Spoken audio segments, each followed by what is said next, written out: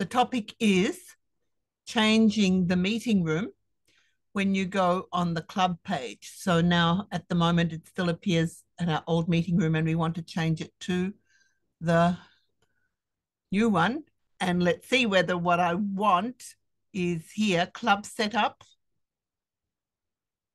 role allocation, meetings, default location. Okay, I found it.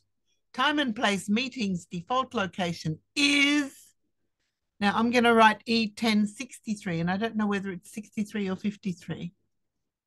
Oh, it's a hybrid location, but here 1063. Okay, all right, well, that's it.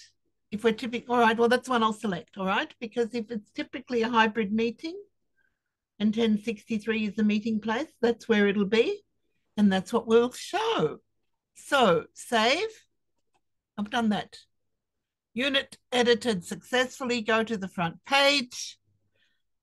Where do we meet? Hybrid meeting here. Okay, that's it, Ben.